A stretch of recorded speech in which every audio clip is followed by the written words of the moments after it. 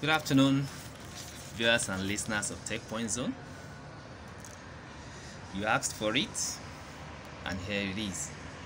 Today's video is going to be on the comparison between LPG and petrol consumption in order to know how long 1 kg of LPG, which is a cooking gas, can run a 2.5 kilowatt of generating sets, which is the one I have here, compared to how long 1 liter of petrol can run the same generator.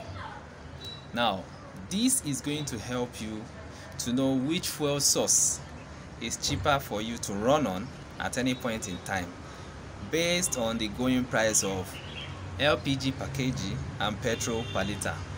So for reference, today is 29th July 2023 and the price of 1 kg of LPG which is a cooking gas in my area is 650 naira per kg.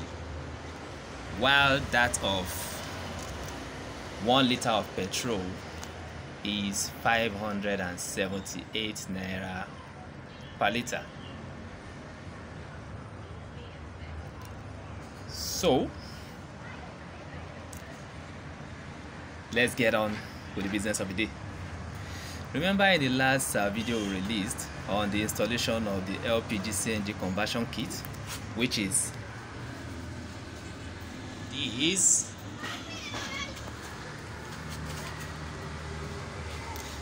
I said in, the, in that video that the next video will be comparing the consumption of lpg to that of petrol using the lpg cng conversion kit on the same generator. So if you haven't seen that video click on the link that appears above so you can watch that video on how this kit was installed. So now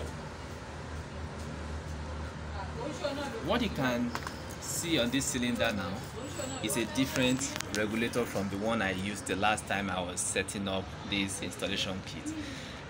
I realized that even after testing this particular regulator it was leaking somewhere around here. So it wasn't uh, good enough to be used in uh, carrying out a calibrated uh, test. Now how I got to know that was that um, I got a balloon and I tied it over this to this point and what I realized that was that the balloon was getting inflated little by little meaning there was little little leakage coming from here. And if you're running your generator with this type of you know substandard um, regulator you are going to end up spending more because of the leakage. So what I did was to go in to get the cylinder for our gas stove with the regulator that came with it. And by the way I'd like you guys to know that uh, this particular regulator you're looking at was bought about 10 years ago and it's uh, made by the Cabana group. So if you are just going out there to buy gas regulator please if you can get your hands on this particular type Cabana group I'll advise you go for it. It's very good been using it for about 10 years now and it's still here working. And there was no point in time where a uh, we experienced a gas leakage. So this is the cylinder. We have connected it with the hose to the conversion kit. And for reference like I told you this is the generator I'm running. And as you can see it's a 2.5 kilowatt generator then down to the fuel part. Close the fuel gate. And I'm also going to be draining out the fuel in the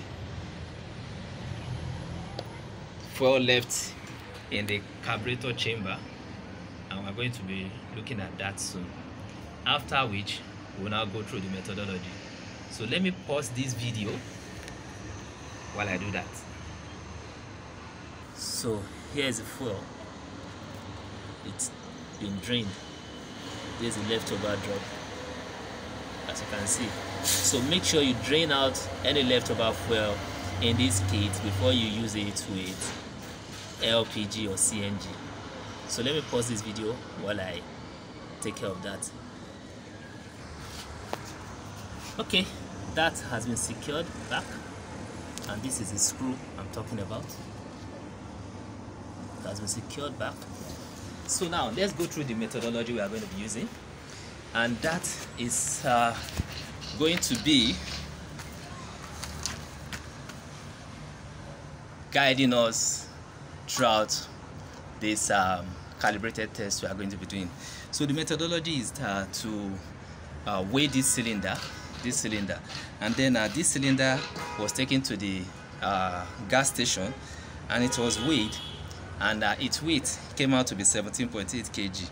So what we are trying to do is we have measured the weight of this cylinder in kg and it came out to be 17.8 and then we'll use this cylinder to run this generator which is going to be operating at a 33% load precisely about 800 watts to 850 watts of load on this 2.5 kilowatts generator. On this 2.5 kilowatts generator and then we'll run we'll use it to run it for uh, two hours after which we'll shut off the generator. Then we'll take this cylinder back to the gas station to weigh it. Whatever the weight comes out to be will then be subtracted from the initial weight which is 17.8 kg. Again the difference will be the LPG consumed over the test period. Then we will do a simple calculation to arrive at the amount of LPG in kg that is required to run this generator for one hour. Yes so for reference this cylinder is 17.8 kg. The generator is 2.5 kilowatt generator. The load is about 820 which um, amounts to about 33 percent loading. And we are using LPG through this LPG slash CNG converter and then it is turned upright which is in the LPG mode. And we are going to be running this for two hours. So let me pause this video while I start the generator. So here is the generator running and the time right now is 145